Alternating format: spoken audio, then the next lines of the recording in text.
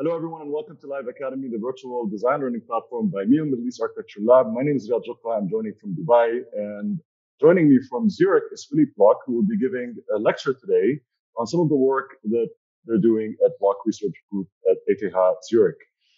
Philippe Block is one of the leading figures in advancing architectural research today, following some of the masterminds in shell structures such as Frei Otto and Felix Candela. So it's really great to see this work being put in the context of today's tools and today's technological advancement. I'm really excited about that. And if you haven't already, please check out the upcoming classes on Live Academy. We have a few more for this semester. So we've reached halfway through this second semester, a project completely born in a lockdown. And uh, we've been having a lot of fun with it, connecting to people from all over the world and sharing their experiences, their work on our platforms. And stay tuned also for one more lecture that will be put out on Live Academy on semester two. And if you've missed any of the beginner classes, you can also subscribe to Live Academy TV and watch those classes there. This session will be recorded and will be broadcasted on our YouTube channel. So make sure that you subscribe to that and uh, to get access to all the other lectures that you may have missed.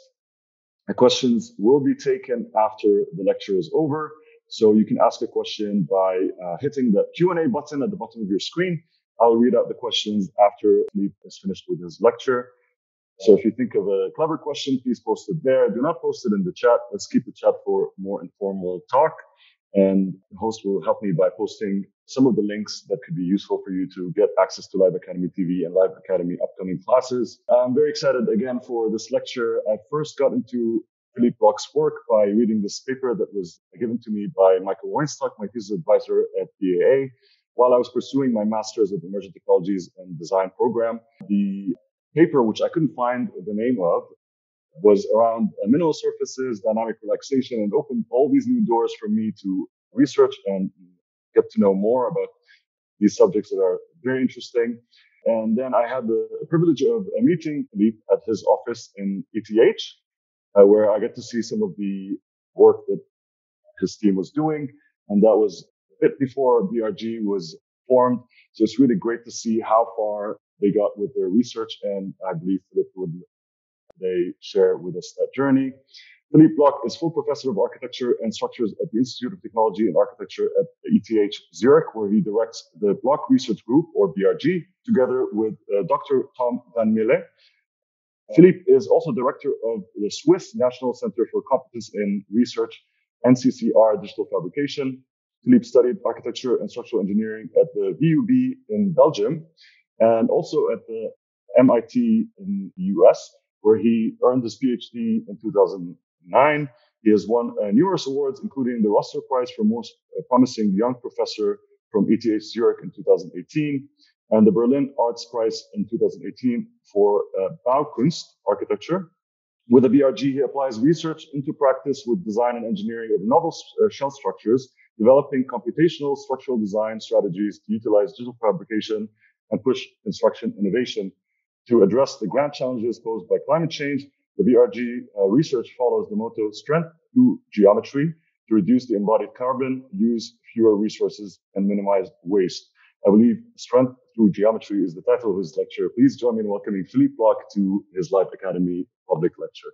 Great. Uh, thanks a lot, Riyad, for this uh, for, for, this uh, very exciting introduction. I, I always am a little bit um, I'm blushing a bit when I'm uh, when I'm being mentioned in a similar sentence as uh, Heinz Isler and and and Frei Otto and so on. obviously, big big inspirations, and so it's uh, it's it is exciting actually that um, these kind of uh, historical structures uh, now really have a place and and uh, a relevance in today's uh, in today's design, uh, not just formally, but I believe also in how they appro- approach design and and and how they dealt with constraints of materials and and and fabrication uh, strategies and so on. I think these lessons from the past are more more important than ever. And so I'm excited to to share this through through my talk today. Indeed. Uh, so thanks again for the invitation. Uh, thanks everyone for joining from all over the world. It's it's fun to to read where you're where you're joining from, and I hope to uh, to serve a little bit as inspiration today. Okay, so as announced, uh, strength through geometry uh, will be my talk. But uh, before uh, starting with uh, addressing what that means or uh, how we approach our design through strength through geometry, let me maybe first start by framing um, why, what drives me, and why my research group does the research that it does. this starts by actually um, an estimate by the the the um, UN Habitat that in the next uh, 30 years, the world population is expected to grow by at least 20%, which translates to um, 2.1 billion more people on this planet. Um, this is a direct challenge and, and but also opportunity for us as, as, as builders, but also as researchers and innovators, because uh, one way to look at this is that um, this has a direct repercussion on what needs to still be built on this planet. Um, this is a slight exaggeration, but one could say, uh, to round things up or to make it simple, that imagine everything that has been built uh, on this planet until today, that we roughly need to double uh, what is there in order to provide appropriate um, average housing quality and, and infrastructure to all these people that still need to be born.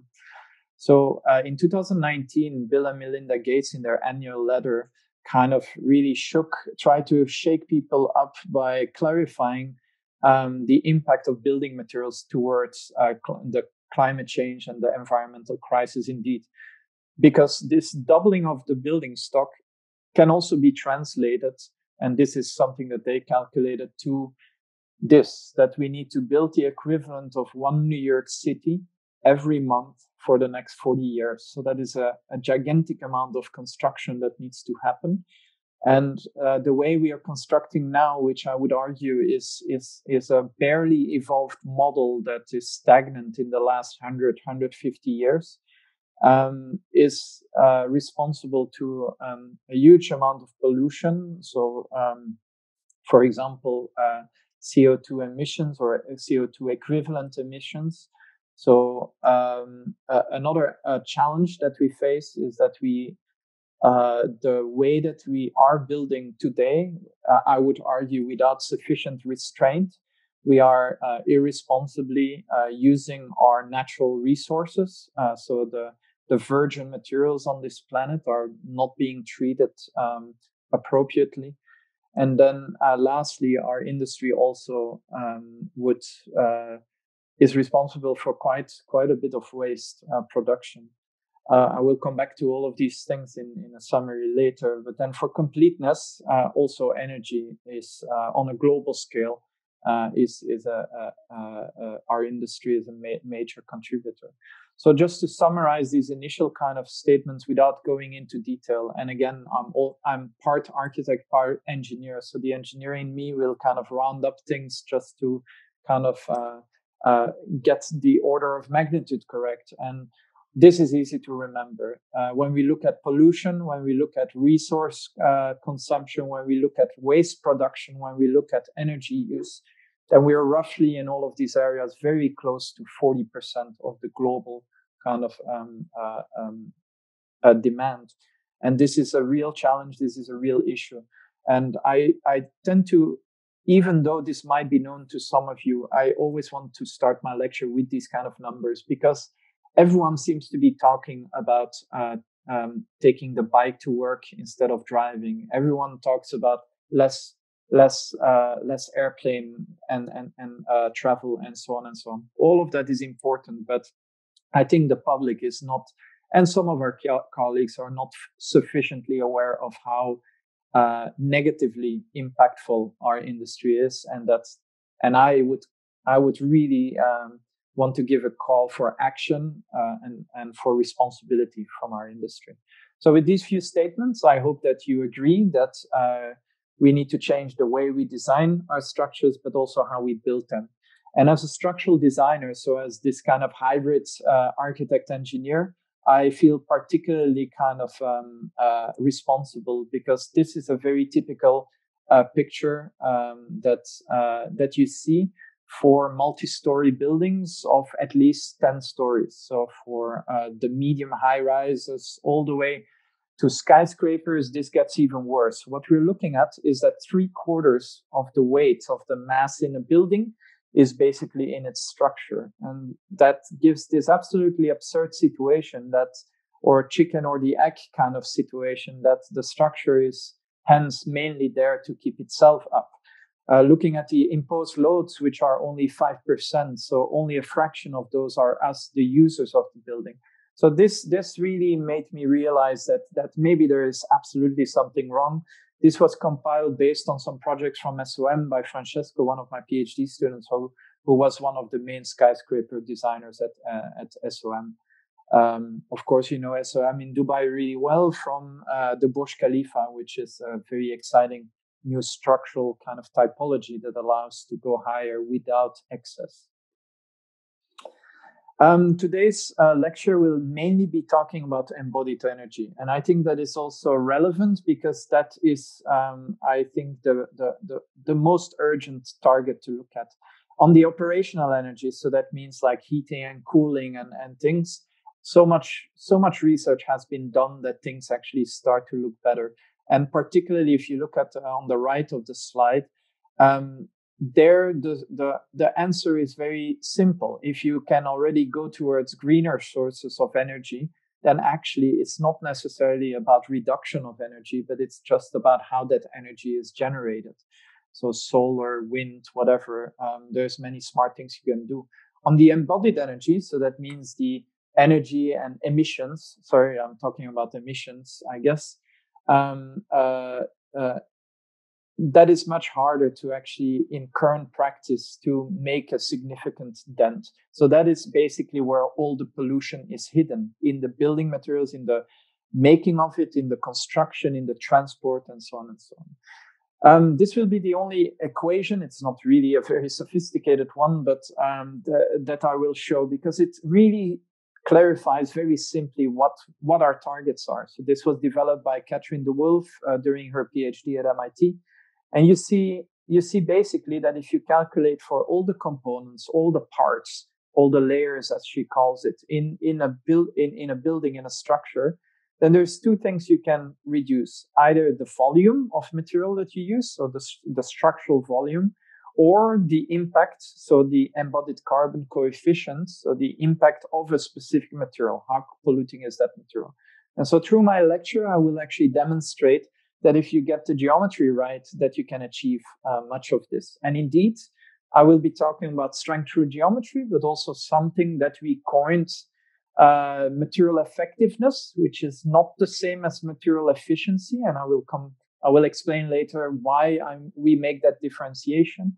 And then uh, we will, I will also show that we really use computational design and digital fabrication to, in order to, to actually bring these opportunities uh, into uh, the design practice indeed. So uh, our group has been uh, roughly uh, just over, so officially 11 years, but let's say that we have one decade of prototyping, of kind of uh, doing pavilions and great, great opportunities, also with big name architects and so on. And and so I will be.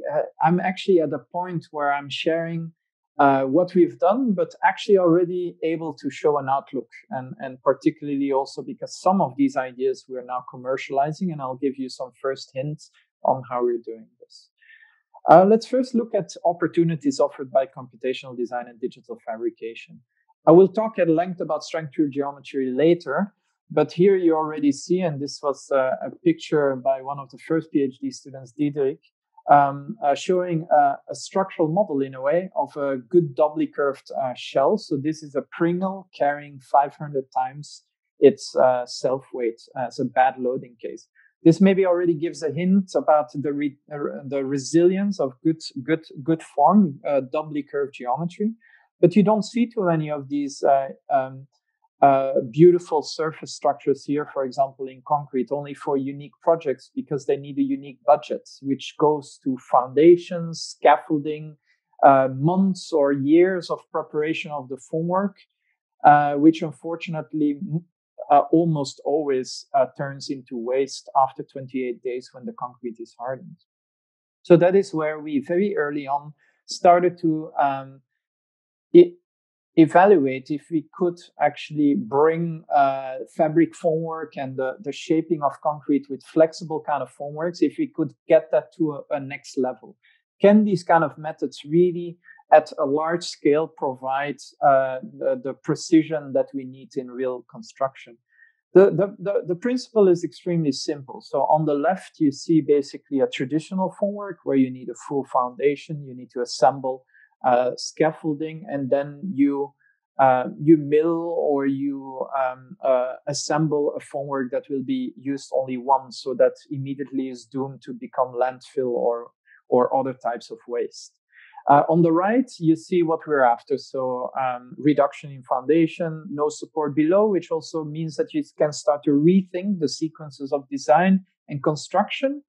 Uh, but an important point to make here is that nothing comes for free. So on the on the left, basically, all these inefficiencies come into play because it's brute force. We're forcing the geometry to stay where it is.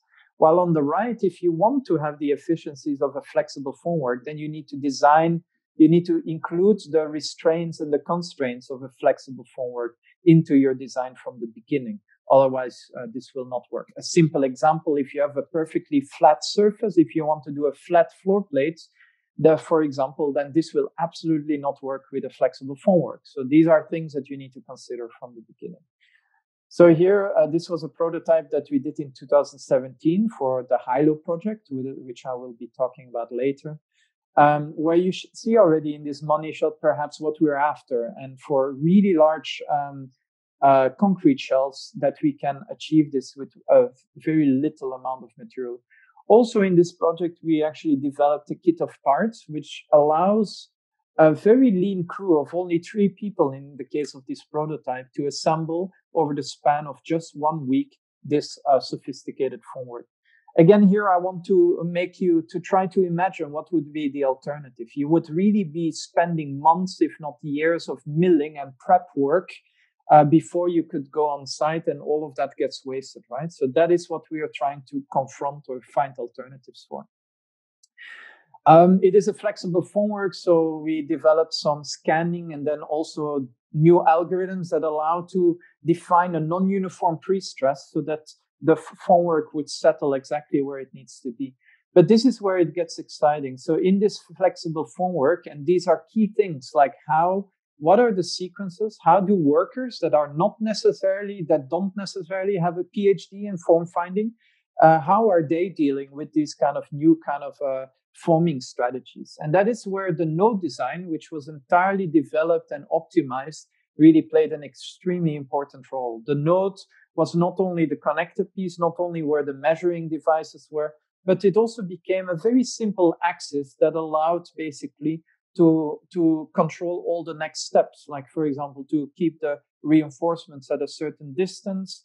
And so you see from the top here that actually these nodes appear roughly at 40 by 40 centimeters. So this funky geometry is for the worker on site is reduced to something extremely simple and manageable of a very small patch of 40 to 5, uh, 50 centimeters. And so that allows that suddenly then also you know exactly how thick the concrete uh, needs to be everywhere because you have these local references. And that allows you to create, this was a prototype in 2017, um, a shell of 20 meters by 10 meters by seven and a half meters. So a 180 square meters surface of concrete of only three centimeters at the end and eight centimeters towards the support.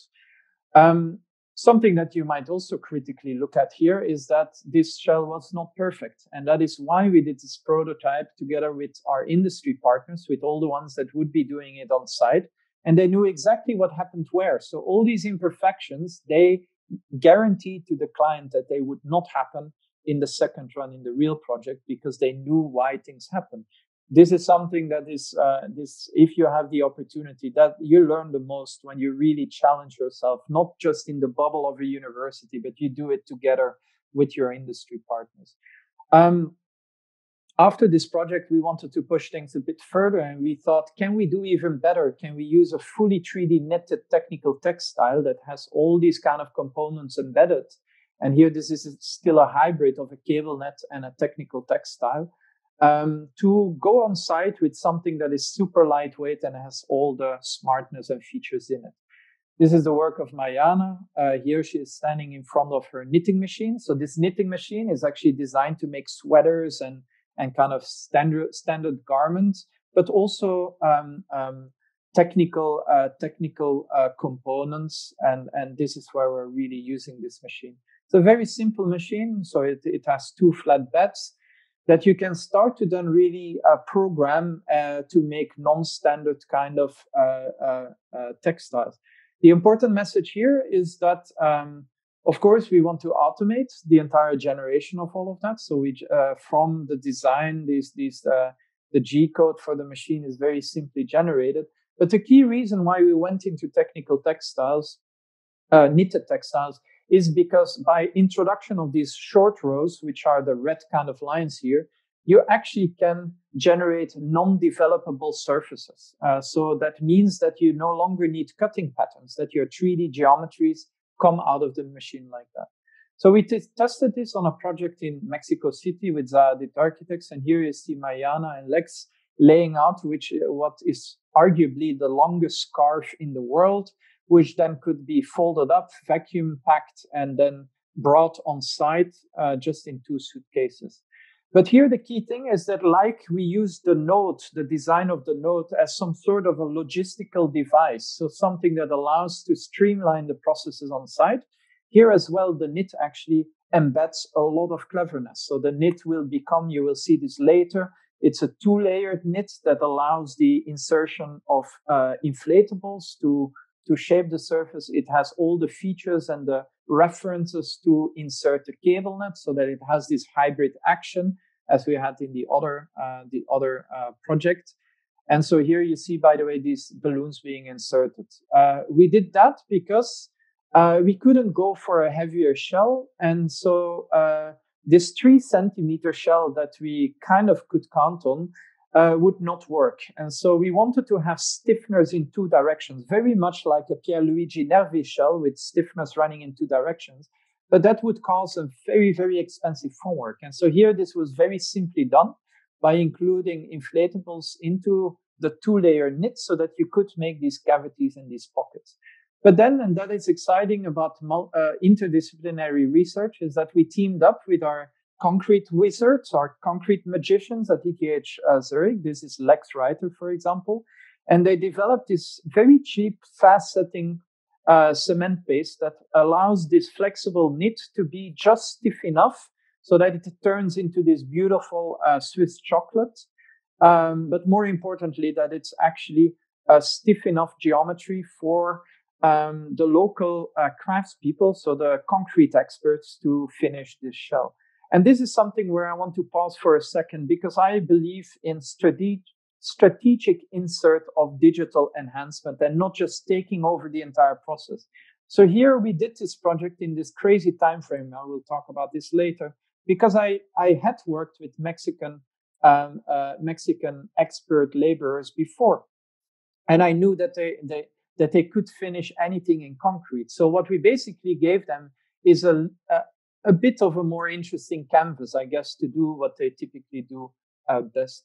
So I like this kind of, um, or I find it uh, not only I like, but I find it also extremely important that uh, that we value and understand basically the opportunities that we also have in the different contexts that we uh, build and construct. Uh, for this project, uh, as I said, which we, uh, as I mentioned, we did together with Zaha Hadid Architects for one of their exhibition. We also wanted to exp- uh, expose the knits in order to give another expression of uh, the harsh concrete shell on the outside and a very interesting, soft, tangible kind of inside uh, here.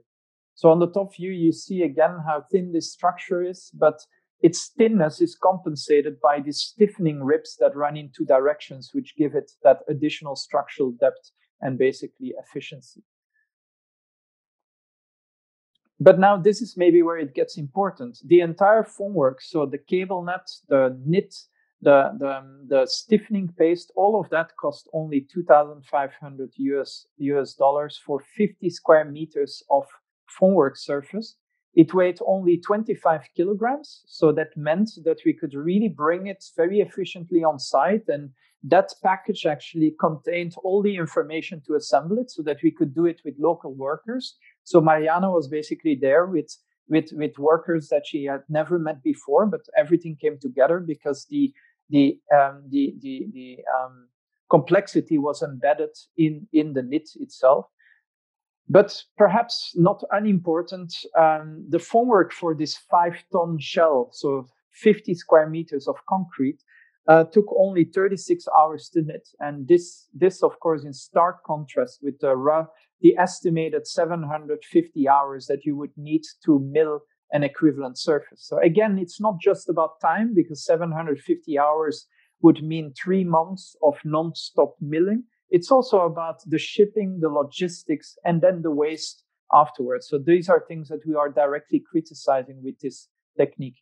Then sharing with you that uh, in between the very first email uh, that we were invited by Zaha Hadid Architects and then the opening of the exhibition. So what had to happen in between? There was design, prototyping, engineering, fabrication, and construction. All of that happened roughly in the same time that we would have needed only for the milling in a traditional approach. So next steps for us is also not to just to uh, apply this at a full building scale, but also to develop custom nodes for uh, very lightweight, uh, prefabricated custom uh, solution for, for complex geometry, more on a component kind of side. And then uh, not unimportant is the it's not just about shaping the concrete, but also the reinforcing of the concrete. And so we are now finalizing a project where this lightweight package that comes on site also has all the reinforcements embedded. So I think this will be quite exciting indeed. What is more efficient, what is lighter than sending 25 kilograms to site is to send data or even better to send instructions. And this is where uh, uh, building upon this kind of ubiquitous uh, machines that are available all over the world, because garments are being made all over the world. This this this uh, could cause a distributed prefabrication factory, which is of course an exciting output.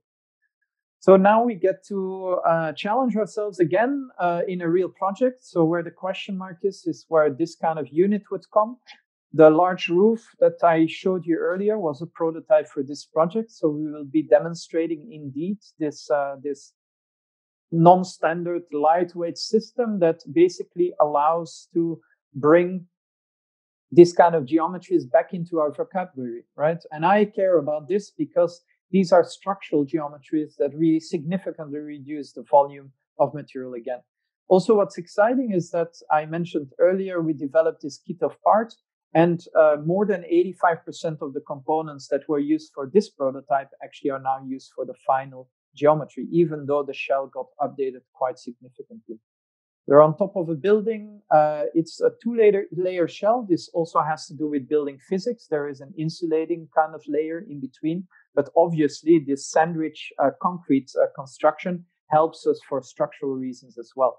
And maybe something that I want to emphasize here by clicking to the next slide is that this node and this clarity and this simplicity of the node with, it, with its clear axis, we pushed to actually also directly on this node, we connect the, the shear connectors and then the space holders for the reinforcement on top. And then these nodes go all the way to connecting the, the waterproofing and then even attaching photovoltaics on top. So on top. So this kind of simplicity of actually managing this complex geometry through that one prefabricated, pre-designed nodes. That is what makes it project now suddenly very obvious to be done with, with partners that are not experts in custom construction indeed. In a real construction, there's many other things that need to be added. So we, we had to go to all kinds of details, like for example, how to have the glass facade disappear when you have concrete flowing from the inside to the outside. So this is, for example, this detail that was developed and prototyped we had to demonstrate to our client that we could build within five millimeters of tolerances, which is absolutely absurd for concrete construction. But uh, this was required because of the novelty of this uh, this this this formwork. But I am also looking forward to the the imprint of the fabric. That's one of the key kind of uh, um, very unique features of a fabric formwork, of course, that will be left in the concrete. So here um, uh, I'm sharing some some images of the building site. Look how clean it is, not only because we're in Switzerland, but also because it's designed as a, as a very simple prefabricated system that easily comes together on site and can be clicked together uh, with a very small crew. And then after, so here's some measuring again, because it's a flexible formwork. So we need to be precise also. So what you save on, on, on getting rid of the brute, brute force, you need to add in algorithms and smartness. And so here you see uh, our team, the BRG, assembling this formwork. So we're not just computational experts, but by now also, I guess, experts in complex, in assembly of complex uh, systems. So here this thing coming together. And uh, this was a state before the client uh, um, uh, went, uh, asked for a break for the winter, not to risk it because of temperatures. But then for us, exciting, this is uh, three, four weeks ago where they started finally with the first layer. And indeed, now we have the first of the two layers already built. One thing that I want to emphasize is that we have been developing for the last five years this open source computational framework for architecture, structures, digital fabrication. So really a collaborative platform. And I, I want to highlight this because this is what makes these kind of projects possible. So it basically allows to bring the gray bubbles are different research uh, groups at ETH with novel strategies that are not ready to be tried typically in in, uh, in in real projects. But then we find a way to basically generate the relevant material for all our partners and to collaborate with partners that many of them have no computational expertise whatsoever. So it's something kind of beyond beyond BIM in a way as well. But the key thing for us to develop these frameworks is to start sharing methods, is to start sharing experiences, is start to learn from each other indeed. Okay, let's now go to the main kind of topic, uh, strength through geometry. And then again, I will talk about material effectiveness later. I did my PhD at MIT uh, on uh, developing a new method for uh, assessing the safety, the stability of these kind of beautiful historic structures in unreinforced masonry. And if uh, if you have had the luck to see these beautiful vaults at King's College at University of Cambridge, maybe something that you don't know is that these uh, shells are proportionally as thin as an eggshell.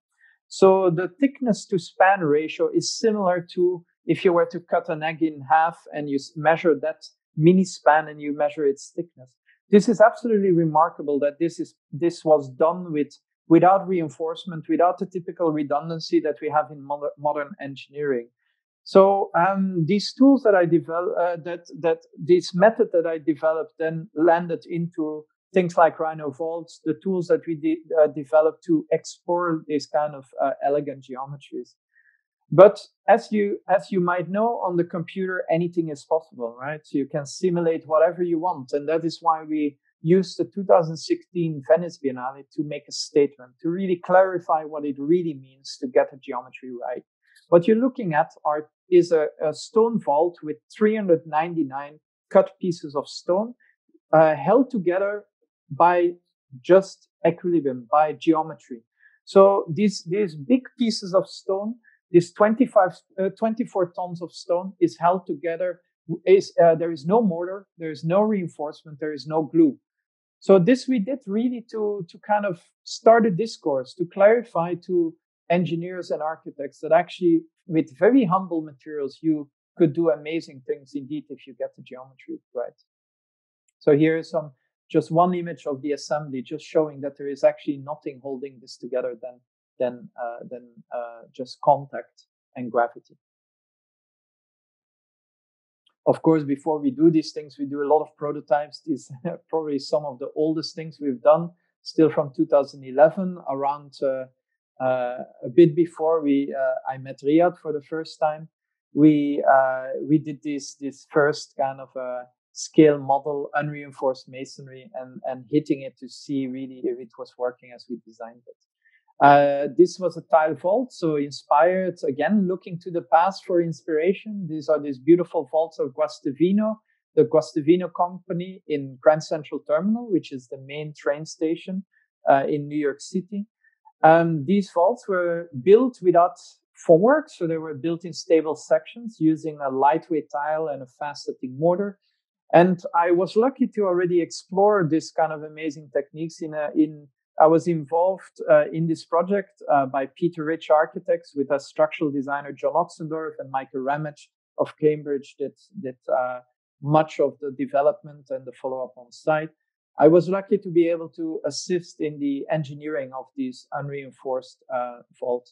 What was unique about this project is that it had to be done with as much local resources as possible. So here you see local laborers, which before learning this technique uh, were basically uh, farmers and carpenters and the, the most handy people uh, to be found in the neighborhood, uh, in, in the surroundings. So here you see this, this technique going on um, uh, uh, using this fast setting mortar in white to basically build in stable sections indeed. All the timber that you see is not formwork. It's basically to guide this literally unskilled labor force to follow these right uh, these uh, structural geometries. But the reason that I'm sh- the reason that I'm showing you this project is because for me it was one of the most eye-opening experiences of my entire career, and particularly because of the contrast of these two images. On the right, you see the tiles being carried very carefully by women uh, to the building site in very small packages, and that is because these tiles are designed; they're just local soil compressed, so without firing them with a little bit of cement to stabilize them. So about 7% of cement. And, but these tiles are designed to only take two megapascals in compression, which is a tenth or even 50 time, 15 times less than a standard concrete. But if you hold this tile in one hand, then they snap in bending. So these tiles have to be brought on site extremely carefully but then on the left, you see that if you place these tiles where the flow of forces wants to go in compression, then you basically uh, transform that weak material into a full, fully safe, uh, entirely safe, fully structural material indeed. So if you don't activate double curvature, so positive double curvature, like we did in the armadillo vault, the stone vault that we showed at the Venice Biennale, then uh, you need to do something else because an arch is a very good um, shape for a certain loading case. But if you have live loads, point loads, so the users, for example, then the red line uh, represents the flow of forces in compression to the supports. And so what you basically see is that you can no longer contain these forces within the section, which would mean collapse. So a, a strategy that was used in this project and in many projects uh, later and, and before as well is actually to locally add more structural depth in the form of these kind of vertical stiffeners.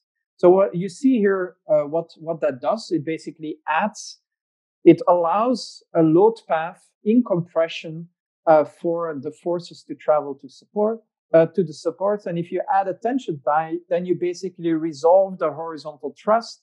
And basically what you have, what we've just done in the last 20, 30 seconds together is we've just created a super efficient 70% lighter equivalent of a floor plate. So, so this is something that I want you to remember because this is just by reintroducing geometries that we are no longer used to form, uh, to, uh, uh, uh that are not really uh, being used anymore. And so this is uh, not just a small improvement, but really a disruptive change, a disruptive improvement in efficiency indeed.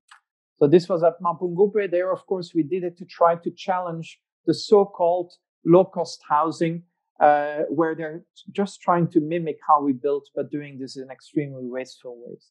So good geometry uh, matters in many cases, and we have done some fun projects like compacting waste, like Wally, to make this uh, uh temporary construction out of Tetra Pak, so compressed car, uh, uh, orange juice and milk cartons or where we um, uh, demonstrated uh, in mycelium that an arch can also be fully 3D as a branching structure.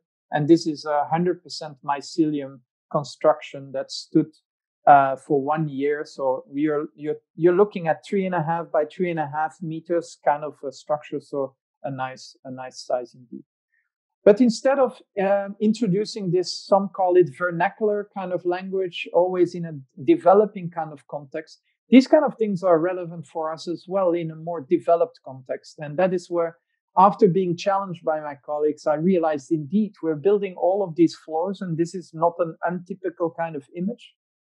And coming back to uh, some of the initial statements, why uh, what really drives me is that in this, if you continue the analysis and actually break down where this structure, uh, where the weight of the structure is uh, going to, then you see that more than half of that that that that that mass is actually in spanning sp- uh, space. So the floors is a super inefficient way, uh, is a super polluting. That's where a lot of materials and hence pollution is in.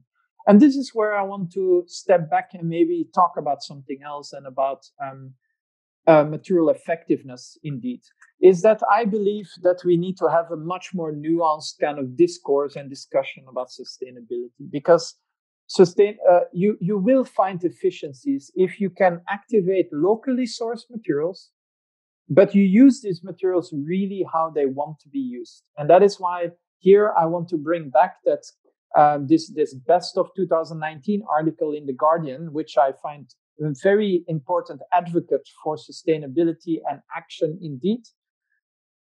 The way it is today, it is 100% right. Concrete is the most destructive material on earth, but that has to do with how we are using concrete. We're using concrete in almost everything and we're not using it as it wants to be used. Concrete is basically an artificial sandstone. It's a hybrid, it's a hybrid stone and a stone masonry wants to be in compression.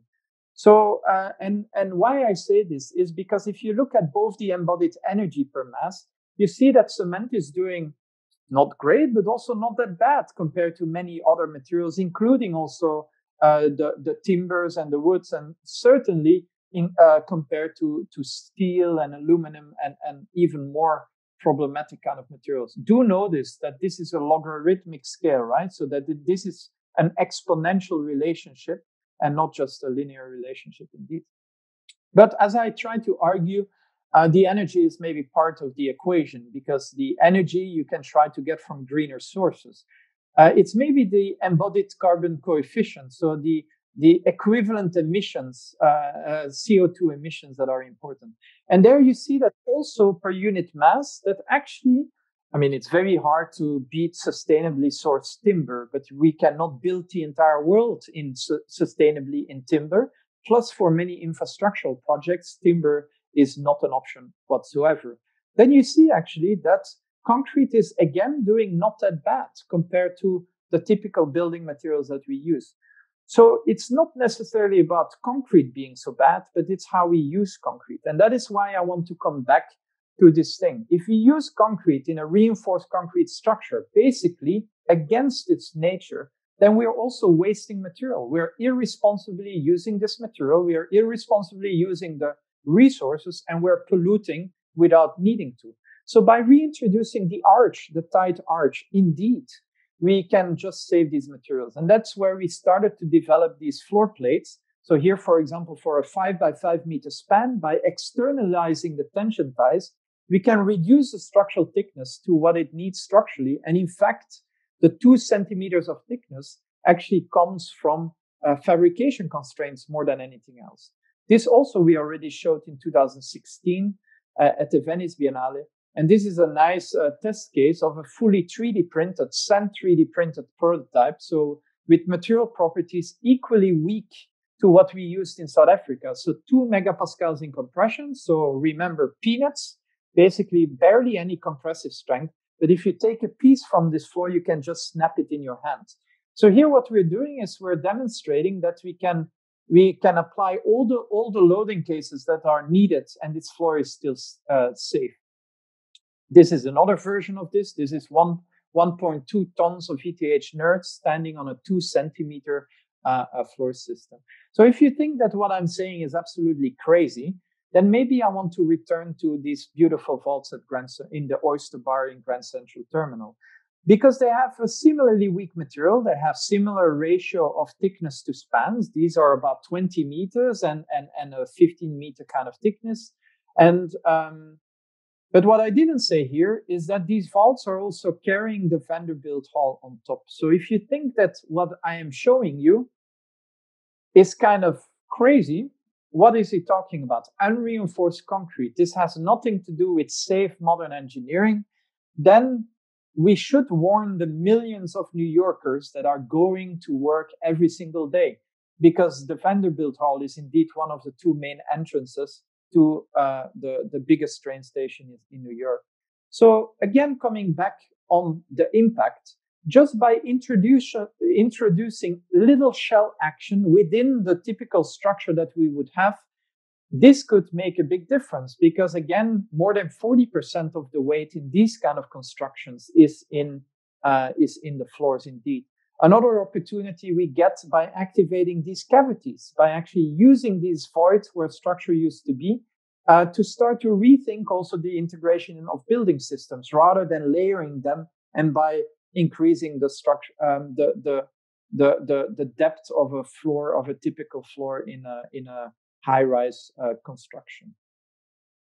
So how cool is this? This sounds like win-win-win, right? So we do a significantly better uh, on the weight, on pollution, but we could also offer at least 25% more real estate to our clients.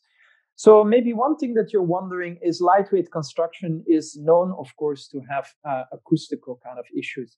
And this is again, and this is, is a very uh, beautiful, congenial uh, uh, surprise, is that rather than the typical strategy for lightweight construction, so lightweight timber, lightweight steel construction, they, in order to be acoustically performant, particularly the contact noises or the transmission of the most problematic, which are the low frequency lo- noises, one tends to add mass. So typically in the form of a continuous concrete layer, for example.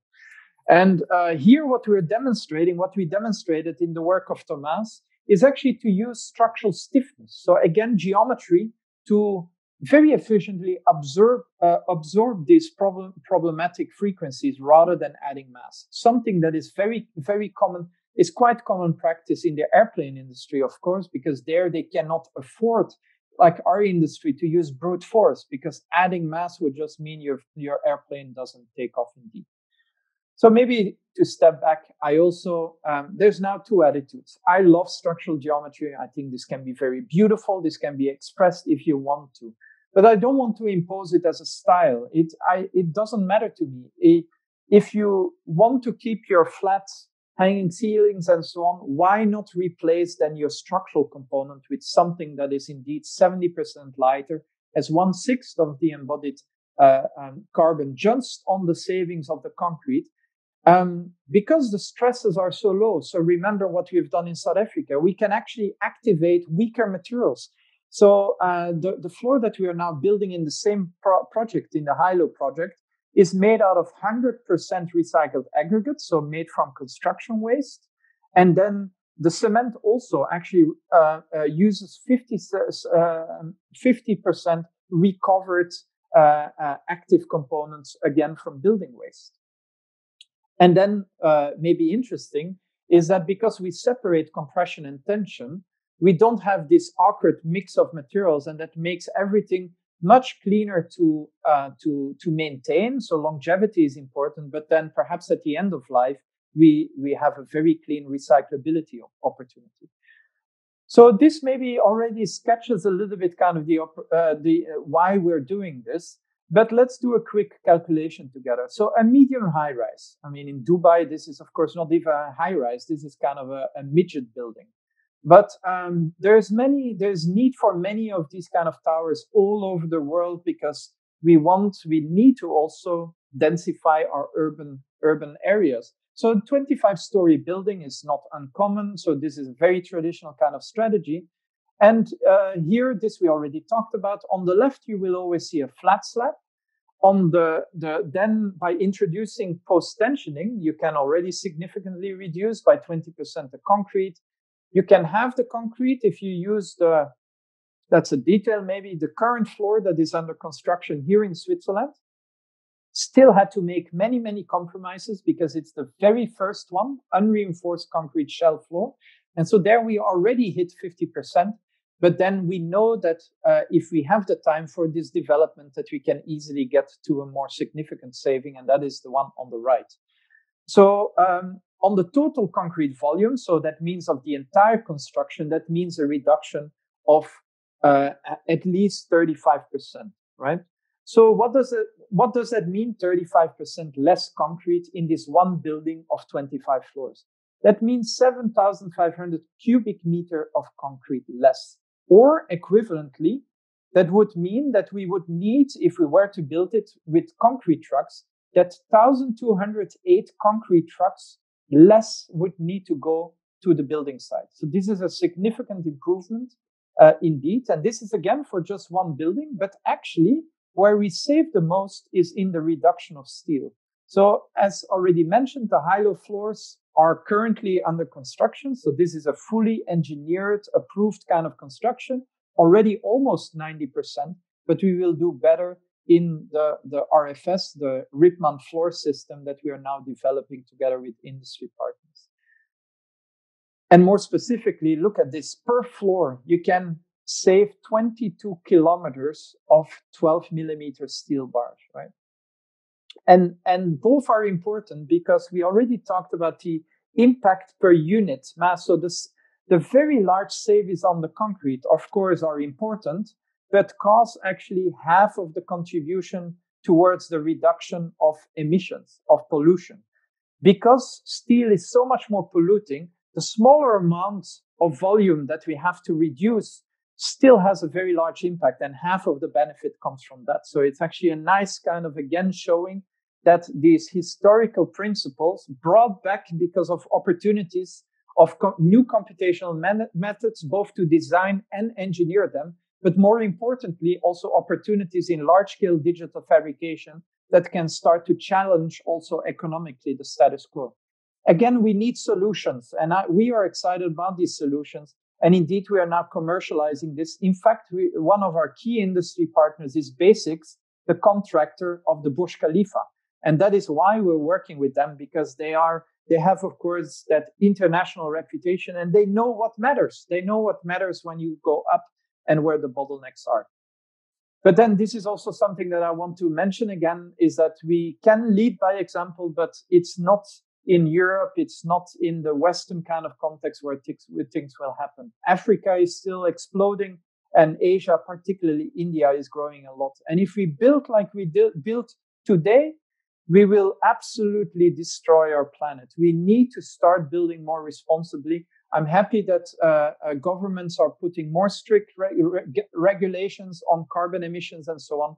And I'm also very exciting, excited that we are now doing a, a project with developers in India where we're transferring uh, this floor idea in a very different context in the lowest cost housing solutions. And the same, we're working with the government of South Africa to also re- introduce these same ideas.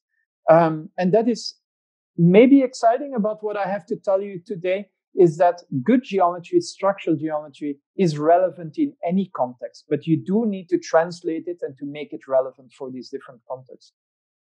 That is also why we are committed and we remain committed to develop tools that are open, that are transparent, that educate the designer, that you really understand what you're doing. And in that sense, RhinoVault 2 is now really an open source computational platform for funicular form finding uh, based on COMPAS. And uh, again, so COMPAS offers you all these methods that basically we have been developing with our colleagues, experts in architectural geometry and structures, in computation, and so on. And and and in a way, RhinoVault 2 is just a UI. It wraps this kind of uh, kind of uh, packages that are already available. But then, uh, because it's based on COMPAS, uh, very soon you will be able to do full funicular constraint form finding using RhinoVault 2, not only in Rhino, but also in Blender, uh, in Grasshopper, in uh, the browser, and so on and so on. So this is something uh, to look out for. We recently did this workshop. So if you look up RhinoVault 2, I recommend to uh, go to the workshop we have given at Digital Futures because it nicely gives you, um, you can uh, teach yourself uh, with the same steps that we introduced it to the students. So for us, uh, uh, Riyad was uh, talking to me earlier, and it is super exciting to see that these kind of tools have an effect on others. So not only our own group uses these tools, but on the bottom uh, left, uh, this beautiful tile vault that was built in Barcelona. In the bottom middle, that is still the Guinness World Record for largest 3D printed shell. Uh, designed with RhinoVault on the bottom right, an exciting overlapping shell designed with RhinoVault uh, um, uh, done by the team of Philip Yuan, Archi-Union in Shanghai. And then one of my favorite projects is uh, the one on the top right, done in India by Sameep Padora and architects. A beautiful, beautiful little uh, library extension to, to an elementary school done in a remote location with humble means and local, uh, local workers indeed. Um, so we as a group are really committed to share our tools. On Equilibrium, we share all our teaching material so that you can, so that we can expose graphic statics and, and, and, and, and, and structural design methods to more people. So please go check it out if you're curious about this. RhinoVault 2, 2 is brand new. So it got released uh, last Friday, but already got tested by many people. And so we hope to build up a community that you can also start to contribute and even together with us, develop this tool further to your needs and so on. And then most importantly, the development of COMPAS, really fully open source, a platform where we can share uh, methods, where we can learn from each other, where we are not all reinventing the wheel, but we're really working together because our industry needs it. We need to work together in order to attack the big challenges that we have, the big uh, climatic challenges, the productivity challenges in our industry, and so on. So what I told, talked about is that with structural geometry, we can use less material by activating funicular form, which means compression only logics. You can, uh, because they have lower stresses, you can use uh, weaker materials, which typically means that they're less polluting. So you can use better materials indeed. So again, remember local, locally sourced materials recycled materials, even grown materials like the mycelium. We really be, will be pushing in the next years to demonstrate that these materials can be used 100% as structural materials as well. But then these geometries are non-standard, right? So you really need to see opportunities in computational methods and digital fabrication to try to address, can I challenge the status quo? Can I challenge these formwork systems that have been developed in the last hundred years? Can I not generate all this waste and so on and so on? And that is where I hope I convinced you with a few kind of uh, hints that uh, a lot of innovation can be found there as well. So with that, I'm done with my talk today. Uh, this is our website. There is a lot of uh, work to be found there. Um, follow us or me on Instagram. Uh, we're not that active, but if there is the latest available, we will be uh, sharing it with you as well. And um, after this, I'm uh, also very happy and uh, excited to hear uh, your questions and, and to try to kind of uh, um, uh, clarify things that maybe were not uh, clear enough indeed. Fantastic. Thank you so much, Philippe. If you can unshare your screen now, yeah, that's great. We have quite a few people here on the live session and some people watching, watching us on YouTube Live. Unfortunately, we'll not be able to take the YouTube Live questions. But for people joining us on Zoom, uh, more than happy to answer your questions. So please post them in the Q&A uh, box or use the raise hand tool so that you can ask a question live on video. And uh, Philippe, really interesting lecture and quite, I mean, I think you were maybe a bit, uh, you know, underplaying it when we first spoke uh, on this uh, talk because it was a lot different than a lot of the talks that I've seen from you. So thank you so much for sharing it, that with our audience. It was amazing to see how you um, took uh, your interest in geometry, material research, and um, computation and applied it in different contexts, which I, I, found the most interesting part of your lecture because, you know, it, it, a lot of people argue that a lot of these uh, interesting spatial narratives and interesting spatial ideas and uh, big visions for architecture are only applicable in certain places that might be more economically privileged or might have more advancement in engineering or technology.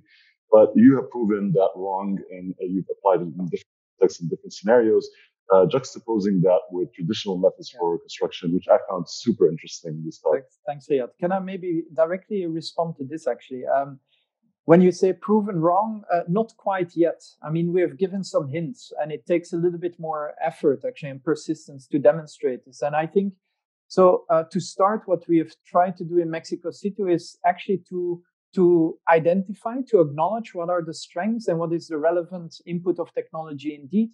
But then actually what I what we see actually as, as the next step is that not always when you then engineer and design that you need to full pipeline and the sophistication and complexity, but that you start to learn from what we've done there and try that we try to kind of translate it in in in in key principles. And that these key principles that we then explain how you can or develop uh, strategies how to combine them. And so for me that is actually the next step because many of the things that i've shown um, to be honest and it's maybe also obvious there is a lot of pre-design and engineering before we even go on site right? And so i think there we can, we we have to think of strategies. How can we bring the sophistication, the opportunities of geometry to a broader audience? And an audience that is not all of them experts in computation. And that is where I believe kind of also developing tools that, that kind of um, expose to what is behind them, but nonetheless give some sort of an intuitive kind of exploration like RhinoVault 2 or RhinoVault for that matter. I think that is, that is quite, quite important. So it, it, there is a lot behind it, but actually we're still exposing the things that matter the relation between geometry and forces and things like that another thing that we're recently exploring is actually to use our and i can be very straightforward about this our very privileged kind of conditions to do a lot of upfront uh, digital prototyping and so on to try to develop for example a brick that has a certain geometry that when implemented in a different context, has that robustness that you can really activate local unskilled labor and things like that. So I just wanted to clarify a little bit that I don't think we've proven anything yet, but we have some hints of maybe good strategies. Yeah. It's a it's a fantastic start and very exciting indeed. We have some questions piling up here, so uh, I'll take the first one from uh, Coco, who is asking a question from Indonesia. I don't know if you've had the opportunity to, to go to Indonesia, uh, Philippe, but if you ever make it there, I was there at the beginning of this year, uh, luckily before the lockdown, and I had the opportunity to go to this amazing place called the Green School, mm-hmm. where uh, a, duo, an architecture duo from Canada, uh, residing in Bali for a number of years, have started building these incredible structures out of bamboo, and yeah, yeah. shows you the potential and the resiliency of the material in uh, so many different uh, scenarios. So, highly recommend it. But uh, Coco's saying and I'll read the whole thing. Uh, my sister Katerina is an architecture student from Indonesia. Unfortunately, she is not able to join the lecture today. She asked me to ask you a question on how to stay authentic as an architect. As we all know, uh, that is not very, every client, uh, as we all know, not every client are good and also educated about architecture, but sometimes we are being questioned and doubted on our works. Thank you. Yeah, I, okay. Well, I, I, I, it's it's it's a question that could be very loaded. Um, I, I I'll, I'll just give my take on it. By the way, I first want to comment a little bit on your comments on the bamboo and so on.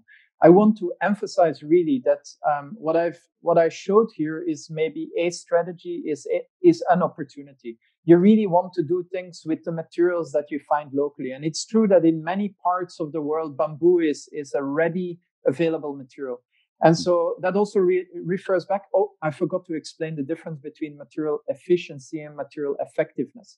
Mm. So um, that means that you want to use the material how it wants to be used. That I explained this with the with the concrete, the unreinforced concrete, because if you go lightweight, that is not necessarily always a solution. If you use highly polluting materials like carbon fiber and things like that, then you offset all the benefits almost immediately. So I wanted to talk about this and the same in regions where you have bamboo, go towards shapes that make sense in bamboo so that you stiffen your geometry by bending them. Then you have this this this this bending active behavior in that and so on and then you will hit new efficiencies indeed mm. to come to the question so how to stay authentic as an architect i personally think yeah, it's a challenge, and it's it's. I find it too bad and frustrating that um, uh, architects and des- designers that really have good attitudes and, and and and intentions often need to kind of resort to so many compromises that at the end it doesn't it doesn't come out anymore. And I don't know how to change this. I am hopeful that the the, the combination between the public opinion that that uh, that everyone seems to start to acknowledge that we need to do that we need to build more responsibly the the the climate uh, um, uh, strikes and things like that but also governmental pressure that actually through the regulations that as an architect you will be challenged to no longer build like that anything is possible but that you need to come up with better solutions. And so i would actually want to to expand that question to you talk about architect. I want to talk about uh, designer. I, I think we need to we need to no longer separate all these different categories. The the architect the designer the engineer they all need to come together to come to to smart uh, solutions. And i don't know I, I live of course in a in a bubble. I'm in academia. I get to do exciting things. So maybe my comments here are a little bit uh, out of touch with reality, but I do have the feeling that there is much more awareness, a growing awareness of people that want to do things differently and that start to even almost be willing to pay more for it. Like, hmm. like we find it, we seem to find it obvious that we pay a little bit more to have bio food rather than food with pesticides. So something similar should be offered for, for the building industry, that there is a, an appreciation actually for for those qualities that an architect can offer right and it's it is really the architect that can that can also educate the, the, the, the client to do better i'm not really answering the question because i know that is a bottleneck that is a reality but i hope that with regular regulatory kind of pressures and just also with image kind of issues or kind of also that it becomes almost obvious that we want to do better i hope that we get to that that place soon but let's see. The only thing we can do is in indeed to to to keep innovating and to try to to to provide uh, solutions and to educate our clients. Yeah, I agree. I also find it interesting that you took uh, an amazing uh, academic institution like ETH as an umbrella to kind of uh, foster your interests and and your repertoire, so to speak, yeah. within because you obviously have a lot of uh, incredible resources there. Uh, Firas is saying, wonderful presentation. Thank you. I love the organic forms that emerge from the computational processes that you've shared with us. Was there a time at some point that perhaps your forms or designs or algorithms were inspired by geometries found in nature, mm-hmm. i.e., to what extent is your work inspired by nature and natural geometries? Yeah it's kind of funny how often that question come up because uh, the shapes that that come out somehow have a natural i'll call it natural i mean they're entirely scripted they're entirely programmed they're form found. There, there's nothing natural about it quite the opposite they're made by robots right? And uh, no I, I, I kind of say it like that because um, i think something natural comes out because of similar pr- principles of equilibrium of balance that also nature abides by. Uh, of course, that is what's behind our algorithms, right? And so I think then what emerges uh, uh, starts to look a little bit more natural. Um, we actually have never, to honestly, we have never started from inspiration from nature, but these kind of natural forms have emerged. But in a way, and that's that's the thing. So gravity is nature, right? Um, uh, uh, reacting if efficiently. So what has evolved uh, over time in nature uh, there is no surprise that we that that we that nature and and we uh, end up with the same geometries, right? And so it's. Uh, um, but yes, there is uh, also uh, our famous colleagues in, in Stuttgart have demonstrated that actually there is valid and valuable kind of hints to be found in nature. But just as an answer to your specific question, uh, we never started from there. From there. Interesting. Anonymous is asking, I'm an architecture student and would love to uh, do a research on digital fabrication go further. I'm kind of lost on where to start. Can you suggest what to focus on and what are the points to keep in mind when? Uh, okay, that is a very very open open question, but I, I do have something to say there. I think in digital fabrication, we are hopefully towards the end um, of uh, people being fascinated by the new opportunities of fabrication and by the new geometries that come out and so on. I think digital fabrication really becomes to challenge the status quo when you actually when uh, your design and the opportunities but also restraints of the fabrication techniques go hand in hand and where where you're not just having a geometry and then you fabricate it, but where you really question what does that specific fabrication method can do better. Like for example, with the knitting, the knitting is actually it's much better than than 3D printing or bending uh, kind of reinforcement because you can place material where you need it. You don't need cutting patterns. You can do uh, uh, uh, uh non-continuous kind of uh, material stiffnesses and so on. So that is where we started. So we we actually evaluated what what is specific about knitting and and and then what can we actually achieve with that. A similar kind of idea is with 3D printing. So concrete 3D printing is super popular, particularly obviously in Dubai. Mm-hmm. But most people are kind of using it as a, at best as a stay in place formwork where you're trying to fight against reinforcements and so on. If I might have given perhaps a hint in my presentation that there is also another way to look at 3D printing. It's kind of like mini vaulting. And if you align the 3D printed layers to where the floor forces want to naturally flow in compression, then that material directly becomes safe and structural. And you don't have to kind of uh, uh, scratch your back inside out, upside down in order to try to insert reinforcement steel. So that's for me another kind of example. Like if you, if you would have started by actually looking at exactly what does concrete layered 3D printing do, uh, do, then you would, I mean, I am convinced you would not even think about the reinforcements because you would have immediately embraced the strengths and the opportunity of these new methods as an example, right? Very interesting. I, definitely have some ideas after your presentation on how we can do some 3D printed structures with RhinoVault. So there you go, there you go. nice, nice. Hey, keep us in the loop. I mean, that sounds great. Yeah, that's uh... definitely. Uh, John Four is asking a more specific question. Thank Philippe. Uh, thanks, Philippe. I, uh, if I may have two questions. Uh, what kind of joints were used for the stone arches in the Venice Biennale? Yeah. Okay.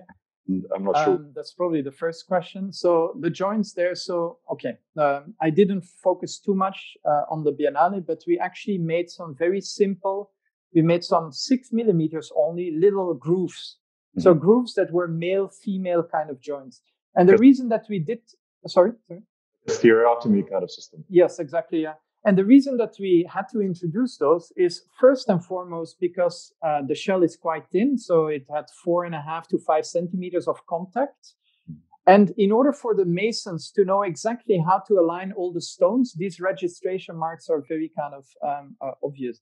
But a key reason or an additional reason to do this is that um, this stone vault is entirely dry assembled. So in the computer, everything might perfectly fit, but in reality, you might have a millimeter, a gap wherever.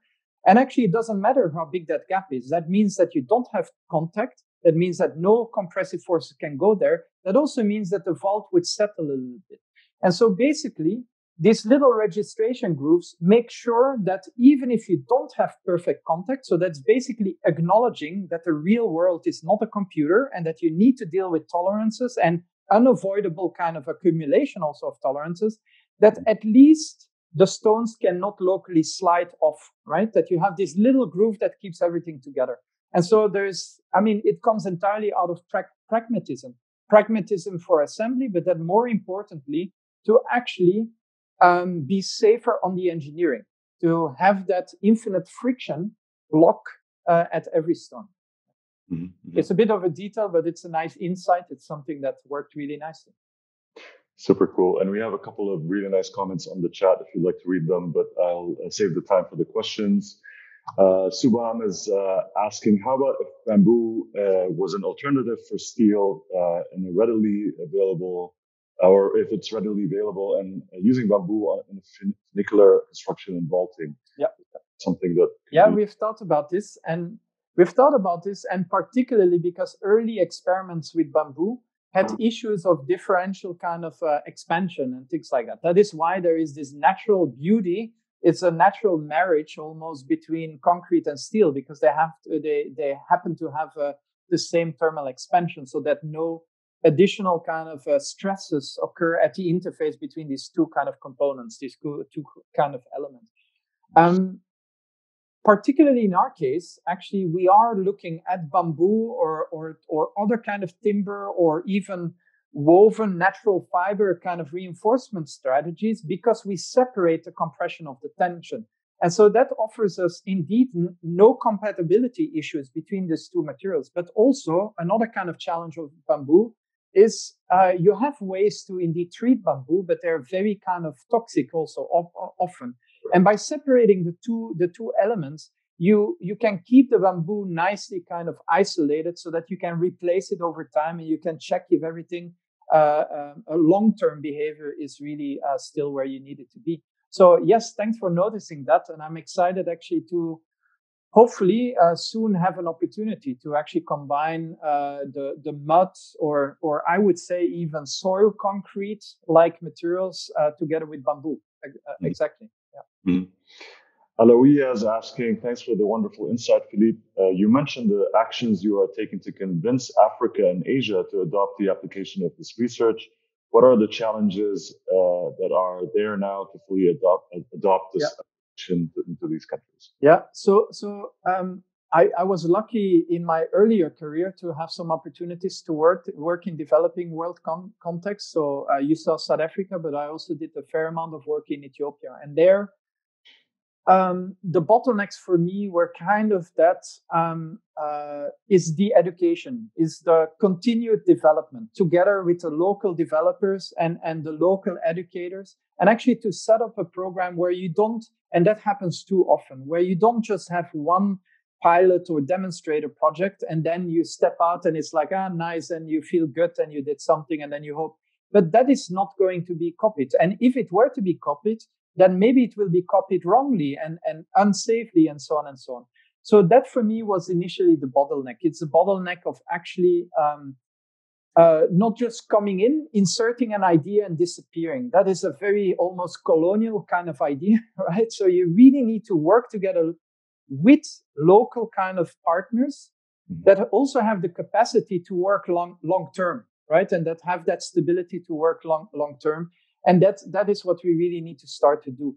And so in that sense now i do have the feeling that because we're working with a fairly large developer in india and with the government directly of south africa that we might have that opportunity to transfer things at scale right? And so i think that is um, that is something that that uh, i never we never managed. And and to be honest i mean many of these beautiful projects that you see being publicized like the the Kere and so on. I mean, they're very local, right? They don't deploy in, in larger kind of things. And I think uh, we need these, these right partners that believe in these kind of ideas to try to help us scale this up at a meaningful scale. And so let's see. I mean, it's, uh, but that, that was until recently the bottleneck. And hopefully I've, I found the right partners to do that. And so I, yeah, anyway, it's, it's, um, it's a scaling up always. It's also the same with our research, right? You can do one exciting pavilion that gets a lot of attention, but that has nothing to do with trying to make an impact, economically viable, challenging, really kind of implement, uh, uh, influencing practice and industry. There is so much more to do. And it, it often comes back with who is willing to take the risk. Yeah. Yeah. The financial risk more than anything, because any development, like the really good ideas we have in academia, there's a lot of work, a lot of investment needed to transfer those into something that might have relevance in industry. And because our industry is not valued, like for example, we, I talked about the food. We're willing to pay more for food. We're willing to pay more for clothes that have a certain kind of quality to them or that are being uh, uh, treated sustainably. So people seem, but that has not triggered yet into into into building. Uh, people don't understand why we should invest more money. Why? Uh, because we're polluting so much. We're prob- probably, um, yeah, causing severe health uh, damage to many more people than people that are influenced by cancer research, for example. So this is absolutely this is an, an a, a change in attitude that we need to do. And I think actually we ourselves as architects, as designers, as researchers, are not vocal, are not clear enough about how much influence we could have and hence how much more funding in academia, but also funding in research and development in practice is really necessary for our industry. Uh, we have uh, quite a few questions here, so please. Sorry, I should be shorter in my answers. Huh? I, I, I, mean, take every answer as an excuse to say all kinds of other things I forgot to say, but uh, I'll try to be more to the point. Yes. it's it's great that we get the most out of you in this session. So, uh, like the only uh, parameter here is your time, um, but we're, we're we're ready to you know. Um, Arun uh, Prasad is asking, uh, could you please suggest a course to learn? Because I really want to learn these modern techniques and building strategies to construct uh, to construct buildings out of uh, parametric style and tectonic styles of architecture. Well, I mean, I, I, I think also actually this COVID situation might change a lot of things. The same with your Live Academy and so on is that that that material is getting more and more available. So I I gave three links of certain resources that we have made available. But um, yeah, just be on the lookout. This is the moment. I mean, many people are being much more open and sharing with material, and I think we all should be. We all should be open source. We all should be helping each other. We all should be sharing our knowledge so that we can learn from each other and actually be proud when when someone uses your stuff to do amazing stuff uh, building. I, I think that is the best thing ever because that's better than doing the project yourself. You don't have any stress you don't have and so on. And nonetheless something beautiful emerged. So open source is beautiful. Sharing sharing is awesome. Yes. Absolutely. And Arun, I mean, uh, as Philippe kindly mentioned, we have a few classes here on Live Academy where you can learn some of these methods uh, maybe sometime in the future we'll have a RhinoVault class also. There you go. Yes, maybe maybe you do. Yes. okay. Uh, Faisal is saying uh, thank you for the very informative uh, lecture and thanks to for uh, thank you Faisal for joining. What is the balance between optimization and design? How do you decide the, on the ratio between the intervention as a designer with the aesthetic sensibilities and the alg- algorithms making design decisions based on optimization parameters? Yeah. I sometimes have difficulty with this and would love to hear your thoughts. Yeah. So actually, how we approach this is um, uh, so I, we actually never really use optimization. We um, rarely, sometimes we do, but almost in all the projects that you've seen, they're not projects of optimization. What we actually do is we actually define our design framework. I mean, we're computational designers, so we kind of set up a custom design tool that kind of really looks carefully at, again, the opportunities and the constraints of the fabrication methods that tries to embed as much kind of ideas of logistics and, and, and possible bottlenecks of construction. And then with that tool, and of course, in our case, uh, our tools will always generate compression only or shell structures and so on. That is a given for what we do. And then within that constraint framework, we start to explore, right? And so that means that everything we generate we know that it's close enough to something that is feasible, right? And so, so I don't know if that answers your question, but so it really is not about optimization for us. It's more about picking the relevant constraints that you want in that design to adhere to. For example, if you want to activate a low quality material that can only take compression, then we we extend something like RhinoVault 2 that anyways generates only compression only solutions but then we add, for example, an opportunity or a logic of a fabrication kind of strategy. And, and that means that we kind of restrain the solution space of RhinoVault a little bit tighter by the ones that can also nicely be done with a certain fabrication. And by, by approaching a design project like that, you actually get rid of the issue of the black box algorithm that does something without your control. Then you are in control. And you're in control because you designed your tools. Mm-hmm. Very interesting. Uh, Melissa is asking a question about the RFS floor system. You mentioned your tests being 3D printed with sand. Going forward, how are you producing these slabs? Yes. Okay. So, uh, fair, fair question, and I kind of ignored it a little bit. Is that we are doing different strategies because it's important for us to to kind of focus on the right things. And the first thing is actually resolving uh, the engineering questions, the, the the kind of robustness and so on. So we're focusing on the geometry.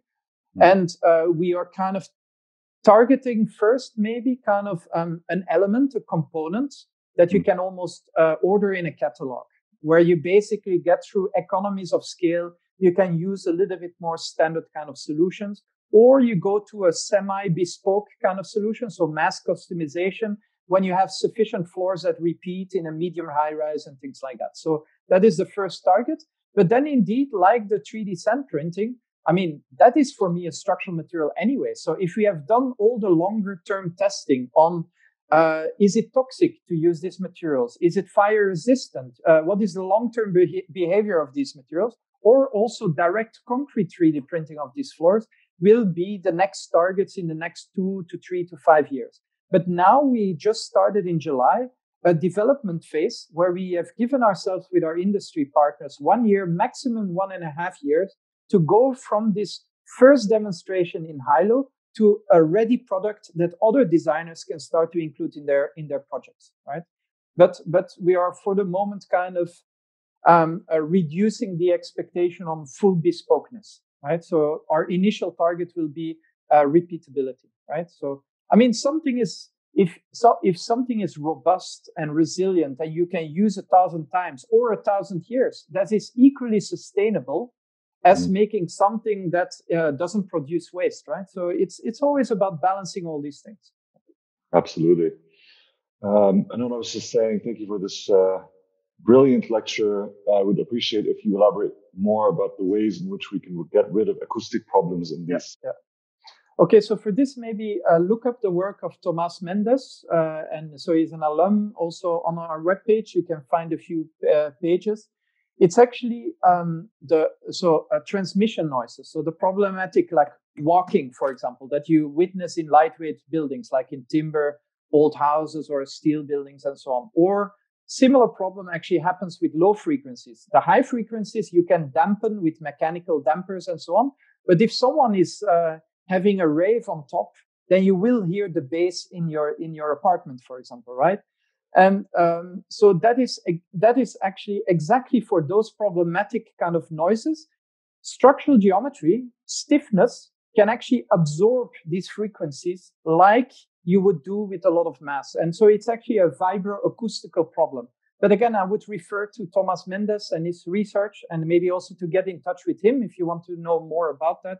He is a BRG alum who is now assistant professor in uh, University of Washington in Seattle. So he'll be very happy happy to give you all the details that I cannot give you for now. But uh, what I was sharing is actually again kind of maybe an, an other an other kind of point of view, like with the flexible formworks, right? That maybe there is opportunities if you take these kind of strength through geometries opportunities um, in the design process. And there seems to be something equivalent in acoustics. And so it has something to do with vibrations and dampening those vibrations because of the shells are so stiff. Uh, you don't have this. It's not like a flat plane, a pane that can vibrate like a drum, but you basically observe them, right? That's that's a core concept as I understand, but I'm not an acoustician. So uh, get in touch with Tomas. So it acts a bit like a sponge to basically absorb some of these uh, vibrations. Yeah. yeah. So there you go, Marcelo. You should look up uh, that work. Uh, we have a question from Asma uh, from Pakistan. Uh, she's saying the idea of using natural fiber fibers is very in- intriguing, but I wanted to know if we can deal with natural weather like rain and floods. How can we deal with fiber?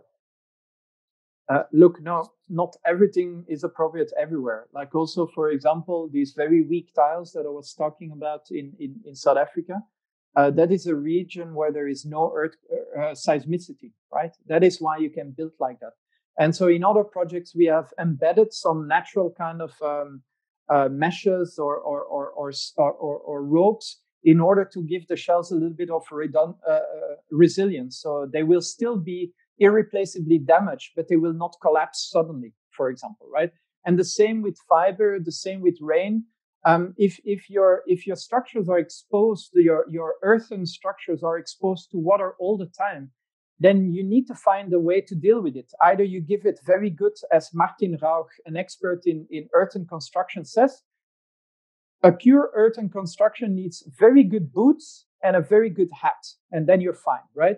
So basically, he, he wants to say with this is keep the water away. If you cannot keep the water away, then you need to go to other materials. Then earthen materials are not your solutions. It goes together again with what I said earlier, right? That um, if we now always say that stabilized earth, so meaning earth with cement is a solution for everywhere, then related to this question, then you would need to add so much cement to make, make your earthen construction uh, resilient and resistant to water and so on, that it's again very polluting. Then you might as well use, have used your local bamboo and your local kind of timbers that are perfect in this kind of situation.